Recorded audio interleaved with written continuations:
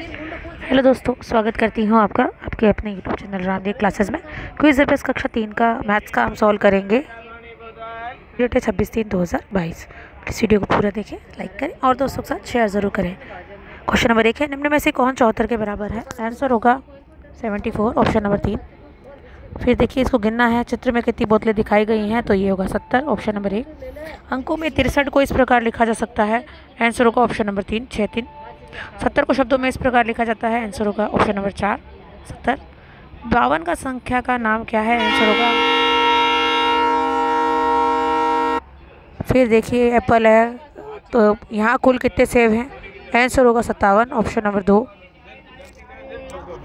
Answer होगा option number चार। फिर देखिए, यहाँ पर क्या आएगा? इक्यावन, बावन, तिरपन, आगे आएगा चौवन ऑप्शन नंबर चार तीन। फिर देखिए, संख्या पैंतीस, संख्या का नाम क्या है? ऑप्शन नंबर एक सही है। फिर देखिए, मेंढक है यहाँ पर। कुल कितने मेंढक हैं? आंसर होगा बत्तीस, ऑप्शन नंबर चार। फिर फूल गिनने हैं, यहाँ कितने फूल हैं? तो होगा तीस, ऑप्शन नंबर दो। संख्या तीन, नौ का संख्या का नाम क्या है? तो उनतालीस लिखना, ऑप्शन नंबर तीन।